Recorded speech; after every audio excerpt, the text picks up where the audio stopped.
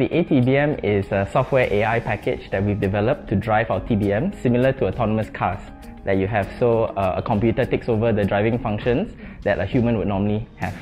The ATBM has uh, shown us quite a few benefits. I mean, we're talking about Industry 4.0, machine learning, big data, and a lot of people talk about the benefits that this brings, and we have sort of made that tangible uh, in the work that we do. So we, we use these AI algorithms to optimize our processes, uh, to make them more efficient.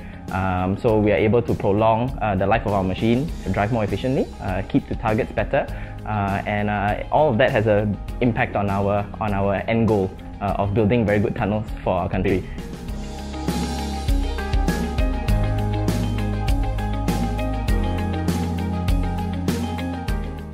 During the competition itself, uh, we uh, we have to go through uh, we have to go through a presentation to all our judges, and we managed to see some of our competitors' presentation as well. And from their work itself, we can see they have poured a lot of in a lot of resources. Some of their technology have uh, jointly developed with other expertise from other industry, not just tunnel industry and we were quite surprised. We know that for the past year itself, we have been worked very hard on this project and we even carry the what we so-called the Malaysia Boleh spirit and we even take a bold step to create our own AI algorithm from scratch.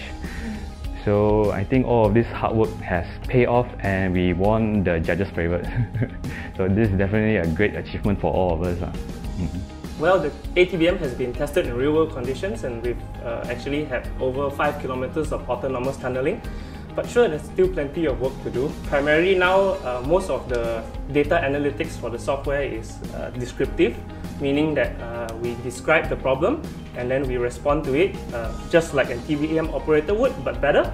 But moving forward, we want to move into more uh, predictive and prescriptive type techniques using big data and machine learning. And this would hopefully not just complement the TBM operators, but help to, um, let's say, uh, provide better insights for tunnel managers and engineers to make better decisions.